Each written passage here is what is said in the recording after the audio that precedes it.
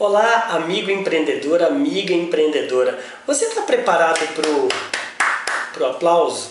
Será que você está tão preparado para o aplauso quanto para a crítica? Cuidado!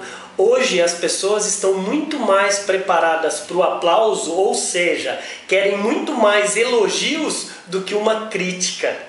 Cuidado porque nem sempre o elogio vindo de uma pessoa que não é muito competente vai lhe fazer a ter o sucesso da que você realmente espera. Seja preparado também para vaia. Isso, uh, seja vaiado, sabe por quê? Muitas vezes a vaia vai fazer você ter a humildade de refletir e melhorar naquilo que você queira.